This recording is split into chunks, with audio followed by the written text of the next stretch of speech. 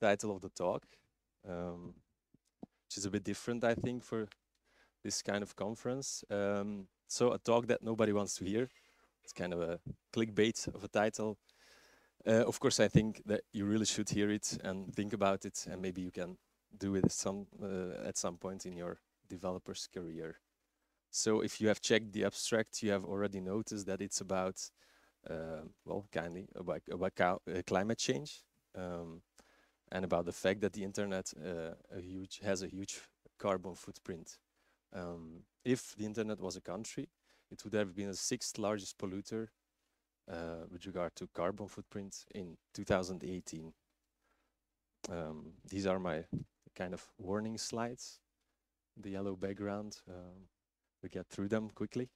Um, I don't know if you have heard it, but the last part of IPCC's report this year just came out. Um, and there it's, uh, yeah, they urge us kind of to do everything we can to reduce our emissions, an immediate and deep emissions reduction across all sectors, including ours, of course, uh, to remain below the one and a half degrees, which is kind of a tipping point for a lot of things that could go wrong in the future. And maybe you're not uh, uh, not following it very well. It's about 1.1 degrees already since the Industrial Revolution. Okay, now we can go to the more positive or inspiring slides. This one is a quote from Gary Cook from Greenpeace, um, where he says that the internet, the biggest thing, is the biggest thing that we are going to build as a species. And if we build it the right way, with the right sources of energy, it could really help power us, our transition to renewables. If we build it the wrong way, it could actually exacerbate the problem. So I think there is a lot we can do um, to reduce our impact as developers in this industry. And I'm trying to, I'm going to try to show you what you can do and how you can um, contribute to it. Um, I'm Csaba. I'm a, let's say, a sustainable web developer at Little Big Things, also bioengineer, uh, bioengineer and a father. Um, um, I'm contributing to WordPress. Yes, I'm a WordPress guy at the Drupal conference. It's very nice to be here. Thank you for the organizers as well. To uh, It's very cool to mix and match and learn from each other. So you're all welcome at WordCamps, which are going to take place this year as well. Um, I also contribute a bit to Climate Action Tech. It's a kind of tech group uh, who try to spread the word about, about climate justice within the technological community. And sometimes I do some crazy stuff with Extinction Rebellion as well. Um, and I also love to play music and play guitar. And my journey started actually a couple of years ago with a contest from a list apart. It was called 10K Apart. Um, the goal was to build a website that could load in and be functional in 10 kilobytes.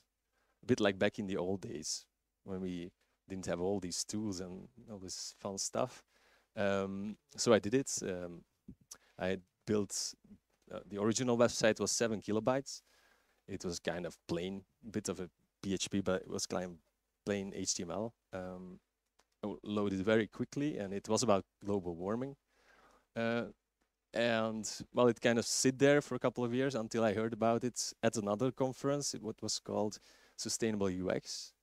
Um, and then I got the idea to build it, build a WordPress blog from it, um, to be able to talk about the impact of the internet climate change. Uh, that blog, global warning blog, was about 30 kilobytes per page load, a bit larger because it has a bit more information, images and stuff. It's not that alive now because there are a lot of people, a lot of smarter people who do a lot of things about um, to build or to, go for a sustainable web that's why I decided to build my talk around the um, Sustainable Web Manifesto, which you can find by the URL below. This kindly provided to us by mostly by Wholegrain Digital, a UK agency. Um, there's also some things about that in a book called Sustainable Web Design by Tom Greenwood. So the six things we have to keep in mind when we try to build a sustainable web are um, it has applications and websites should be clean, efficient, open, honest, regenerative, and resilient. And in this talk, I'm going to try to go through these and what you can do as a developer to, to start with, build uh, clean um, websites. Why clean is the web not clean? Is it? Why does it have a carbon footprint actually? Well, it's on electricity. It's, it lives on electricity. Without electricity, there is no web. So um, it depends on the source of electricity we use. And electricity can come from different sources. It's of course needed for servers, our networks, devices, everything. Um, it can come from fossil fuels, nuclear energy, or, or renewable resources. Of course, renewables are the best thing because those give us uh, low carbon uh, energy. It's hard to put a number on the global, uh, uh globally, how much electricity the web uses. Let's keep it around three to five percent. It can be more, less um, in each. And uh, um, it is found to be growing rapidly, so it will be larger in the next coming year, the coming years. So it's it's very interesting to to be uh, optimize it and try to um, minimize the the footprint. Why is the footprint coming, or, or how about the footprint of it? I just said it would be the sixth country or, um, globally. Um, in 2017, there was a number two percent uh, of the global emissions that would be caused by the web. Um, and it's estimated to become, well, much larger in the future. Um, we're waiting for some more specific numbers on it. But let's start cleaning it already. Of course, you don't have, um, you can do everything to, to, to uh, you, I, I, mean, you don't have, uh, um, you cannot change the user, user's devices. You cannot change the whole uh, network, but you have um, effect on where you host your application and your website. And at the greenwebfoundation.org, you can check whether your website runs on green energy. And they have also a list of green hosting companies where you can decide to move your websites to to um, reduce the carbon footprint of them. Well, that was it mainly about clean for in the context of development. Uh, the largest part of the talk will be about efficiency, because, of course, efficiency, how mo much more uh, you, your website efficient. If your website is more efficient, then it requires less energy, so you can save a lot of things there. And if is the web actually efficient, or has it become more efficient the recent years? If we look at look at data from httparchive.org, uh, we can see that the, the size, the total kilobytes transferred to build a web page is rising readily. So in the last 10 years, it's about doubled or even more. Um, why is that? Probably mostly because we can, because because networks became became faster. So you don't notice if if things um, get bigger, and also the use of a lot of images, videos, and a lot of tracking scripts has increased uh, significantly. Um, if you look a bit further, we can see as well that for a medium web page, uh, well, this was astonishing for me, uh, 500 kilobytes of JavaScript is loaded. And that's JavaScript that is mostly zipped, transferred through the wire, and then you have to unzip it, interpret it, and, and, and run it as well. So that costs a lot of energy. Um, also, you can see for perfor performance-wise, um, that first contentful paint and time to interactive are rather on the higher side of things. So I think that the web could be effic more efficient. Um, well, and how does efficiency relate then to, or the kilobytes you transfer, how does it relate to, to your uh, uh, CO2 or carbon dioxide footprint? Uh, this is probably most complex uh, slide slide of the presentation where we do some calculation. Um, so to start with, we need the energy or the electricity that we need to transfer a megabyte of data. That is the first line there. Um, then if we multiply that by the carbon intensity of uh, the network that we use, which you can find uh, through electricitymap.org. Um, what does that mean, carbon intensity? How much carbon is generated when for that electricity to be um, be produced. And on that side, you can find live data and, and historical, even predictions about the carbon intensity of electricity. But once you multiply that, those two numbers, you have the amount of carbon dioxide that is uh, generated by transferring one megabyte of data. And then if you multiply that by the size of a median web page that we just saw a couple of slides before, slides before, uh, then you get a number around 0.6 grams of CO2 equivalent for a median website. Um, don't be too strict on the numbers. These are estimates. These change over time. And it, this, this might seem very little in a way. But if you think about it, we're talking about millions, billions of websites, billions of users every day. So things go uh, increase quickly if you do the multiplication. Uh, but the other way around, this means as well that small changes can make a big difference. There's this guy, Danny van Kooten, which I um, uh, put the URL for, as a blog post about how he um, reduced a plugin that he uh, um, makes, contributes to, uh, for a WordPress plugin. Actually, he reduced its size by 20 kilobytes, 20 kilobyte of JavaScript dependency that has been thrown out. And in his blog post, he describes the energy um, savings that you do by that because that plugin is active on 2 million websites. And he found that this is the biggest contribution that he could take to reduce his own footprint.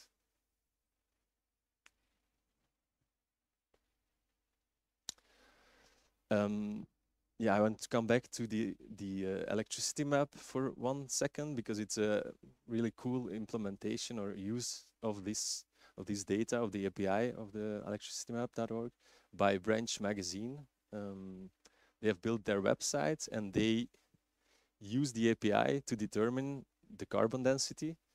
And according to the carbon density of the, the network at that moment, they will or will not, um, for example, send you images. Um, if the carbon intensity is high, so a lot of carbon is produced, electricity is coming from the bad sources, then you won't get the images by default. You can click to add to get them. Um, it's a very interesting use of it. Uh, I think you can do a lot of uh, cool things with it. Apparently, Google uses it also, even to plan their heavy operations for moments that uh, electricity is is from good sources. Uh, so, I, I, think it's inspiring to use things to optimize uh, performance in, in in these ways. Of course, the calculation that I just so show you, uh, you don't have to do it each time. There's a tool, like for everything, uh, kindly provided by Wholegrain Digital, websitecarbon.com. Uh, feel free to scan it and test the website if you want. Uh, they found that the average website in their measurements is providing like 1.67 grams of CO2 per page view. Um, I did some tests just to show you what results you get. So it's a very yeah friendly kind of um, displaying uh, how what what your web website does well and doesn't do that well.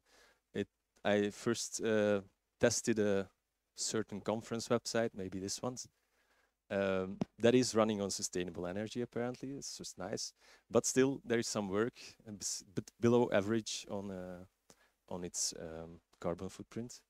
The second one is actually my uh, day jobs company website, which is actually um, was actually developed by Calibrate a couple of years ago, and it does great uh, on the numbers.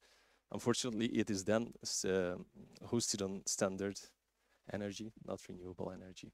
And on the right, you see uh, the globalwarning.blog website, which I talked about in the beginning of, beginning of the talk. Uh, so efficiency, this is a bit of a practical uh, slide for developers, I think. Um, I think there are a lot of things you can do. Uh, just go through it quickly. You can reduce image sizes, uh, look for the right formats, use modern image formats such as WebP and AVIF that are have or getting a lot of support for modern browsers. Optimize the resolution and sizes. Uh, you can provide tools to users to optimize images when they upload images to their site. Um, I do that for my WordPress sites, for example.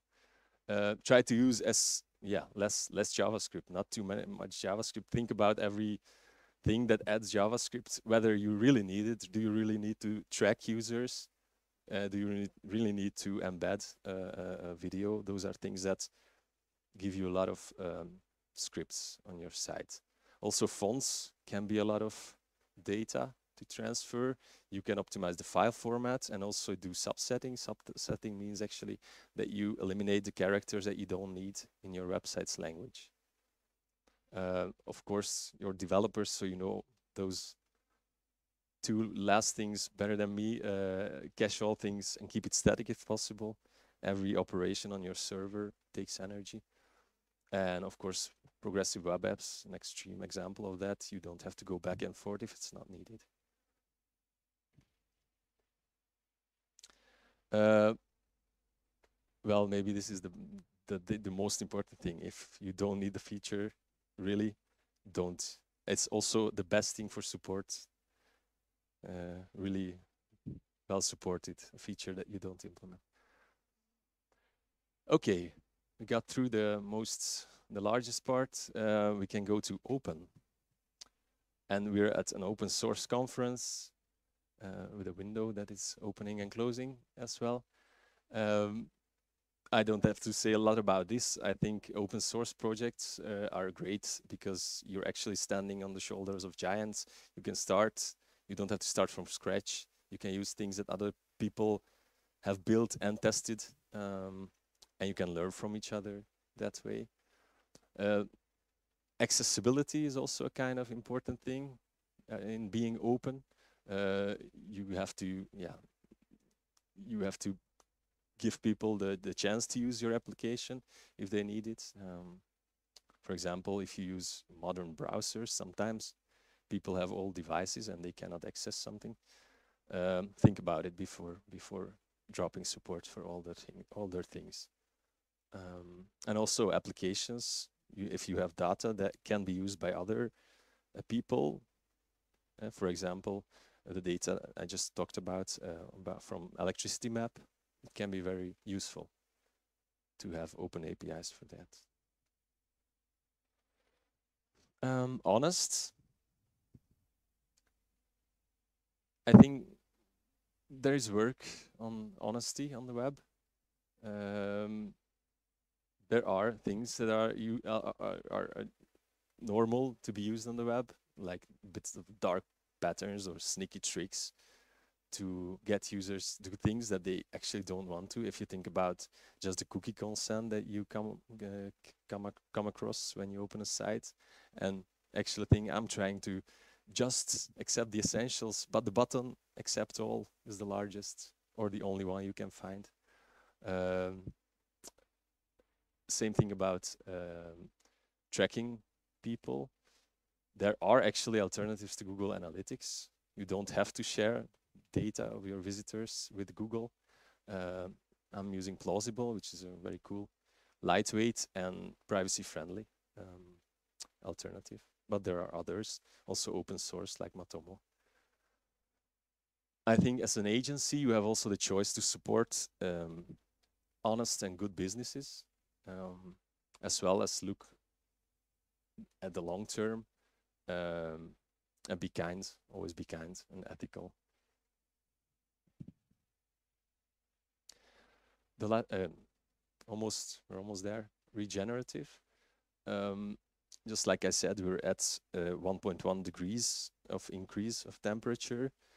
Uh, even if we stop now emitting, still we feel uh, effects of climate change for the coming years, a couple of hundred years, even more. Uh, so there are things to fix. And I think um, that there are opportunities for us as developers and the web to empower people to take meaningful actions and to restore things instead of, yeah, let's say, mindful, uh, mindless consumption. Um, we can build applications that discourage bad habits and encourage good ones. Um, we are planning to get CO2 from the out of the atmosphere to reduce its uh, its uh, content there, but we have solutions for that. Trees, they do that for free. Uh, there are a couple of applications that have, have APIs, for example, to let you plant a tree after a certain action. You have search engines that do that, like Ecosia. Um, there are a lot of cool things that we can do uh, to be regenerative and uh, to fix things. And the last one, I like resiliency as well because it's yeah, it's kind of a sustainable but even more flexible than that. Um, and I'm not sure if anyone has read the book by J Jeremy Keith about res resilient web design, uh, where he explain explains that the web actually is very resilient. The languages that it's based on, HTML and CSS, are resilient because they evolve, they don't break. Older browsers that come across new tags, they just ignore them. Newer browsers are mostly um, backwards compatible. Uh, so HTML CSS will grow and change and uh, without breaking things. Um, there's actually an exception for that, it's JavaScript.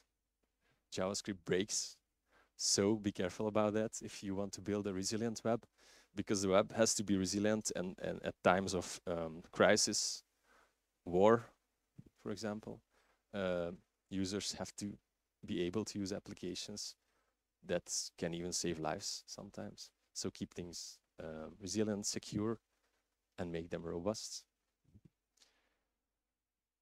So that was about it. I hope uh, you're ready to be clean, efficient, open, honest, and regenerative and resilient, and become a sustainability expert and contribute to an to a sustainable web. Thank you for your attention and thanks all the sponsors, organizers and the community and also the volunteers for organizing this conference. Um, I've added a couple of slides with resources such as books, tools, and the link to the slides as well. If you have any questions, please.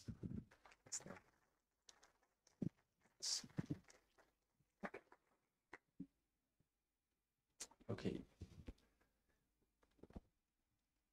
Yes. Hello. Uh, thank you very much for the speech. I have to say it's one of the more surprising ones I've seen in the whole conferences. Um, I have a question about the whole API subject. You, we were talking about uh, how we as us users have impact on, like on on the whole carbon footprint, but how about API usage? Like when websites sync their information from another website or from an API, what kind of an impact does that have? Well, it's the same. It depends. Well, the, the, the easiest figure to to uh, to look at is the data that we transfer besides the host that you choose to host your uh, application on. And it's the same thing for applications. The data that is transferred, you can, yeah, you can be aware of that and minimize it. I think APIs have a rather low impact because they just mostly send JSON files. So their sizes are a lot less than images, videos. Um, and of course, you don't have to use an API just to use an API. You have to look at the value you add to your users uh, and globally even. Um, so I think that right, yeah. consider that. Because I also think there's a lot of websites that just sync their information on a cron-based uh, mm-hmm. event, but that doesn't always mean that the API has new information to share. So maybe we would have to look to ways to like find out are there more yeah. items in the API, API that I can pull in or not, yes. and not just brainlessly pull the information without knowing if there's anything to pull in. Yes, it's kind of like uh, progressive web apps do. Right. Yeah. Thank you. Thank you for the question. Any more questions?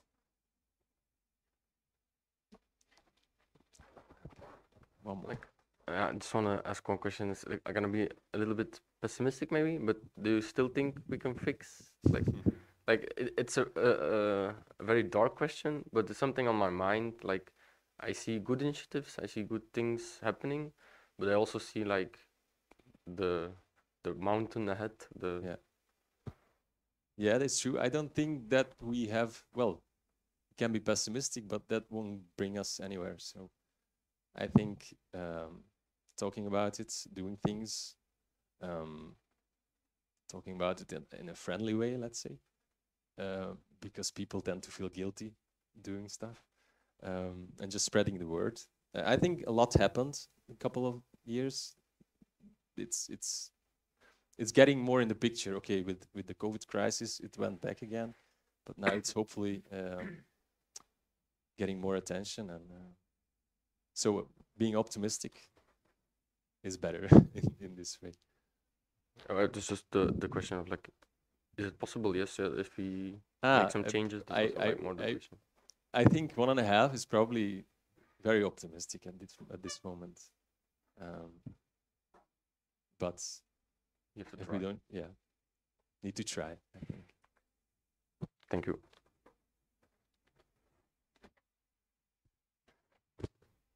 Hi, thank you. Hi. Um, so I'm just thinking about the different technology stacks you do. WordPress, we're talking about Drupal, you can have static site generators. Do you have any kind of yardstick for sort of, should this be a WordPress site? Should it just be an HTML page?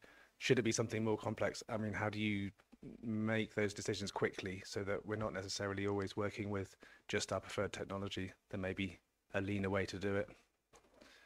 Yeah, it's a good question. It's a good question. I think it's it's we probably don't think about it because we're I'm a WordPress guy, so I make WordPress sites, and probably for a lot of clients, a static site is a perfect solution. They don't, even if they say they will blog, they will use it, they will update it regularly, they won't.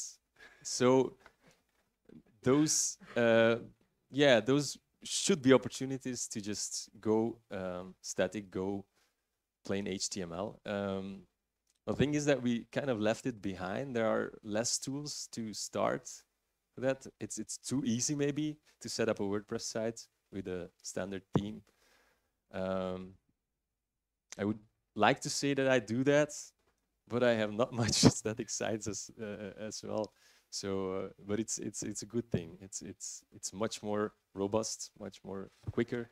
Al- Although that, I guess an extension to that then, um, are there tools that you enable on WordPress such that it essentially renders it out as a static site so that it's not constantly hitting the database, it's not going back Yes. to PHP? I guess obviously, I don't know, CDNs, Varnish, other things on front of it, but are there quick solutions for yes, there of course caching everything you can is a good step in in that uh, direction. But for WordPress, I know there are more and more tools. I think Strattic, it's called Strattic. Even plugins they have to to create static uh, versions of your WordPress website, and that can be a good solution. Uh, it's it's grow it's growing rapidly. There are several solutions which I'm not always aware of, but maybe there is a future in that. Um, that thing. Thank you. Yeah, thank you. Anyone else?